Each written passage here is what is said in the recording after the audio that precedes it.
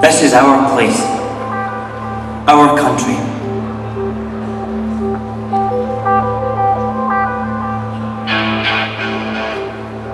I don't think we're better than any other country. But I think we're every bit as good.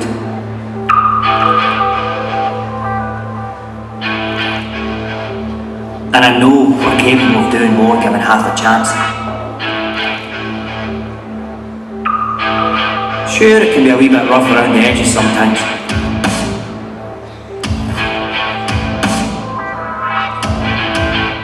It's fair to say we like having a laugh, but that doesn't mean to say we don't care. We care passionately. I know we can be an argumentative bunch. That's not necessarily a bad thing, especially if it gets stuff done. Proud, optimistic, full of hope,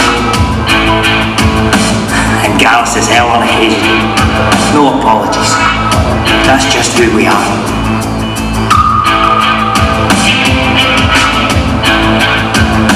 I know where I'm from.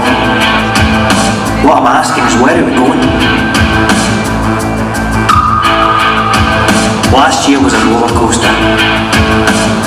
Everyone wants change now. And there's an election coming up.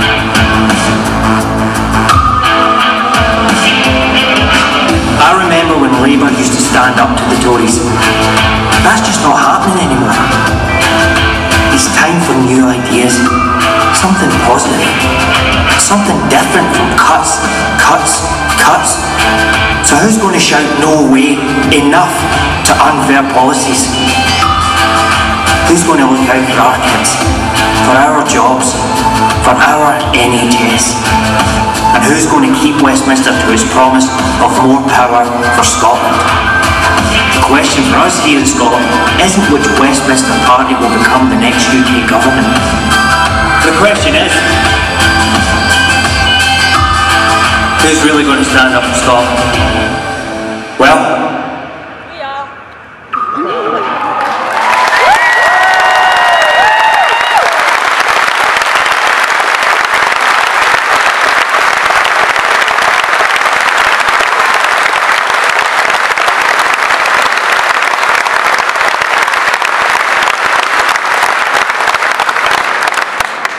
to say, I did rather like that. we may be seeing more of it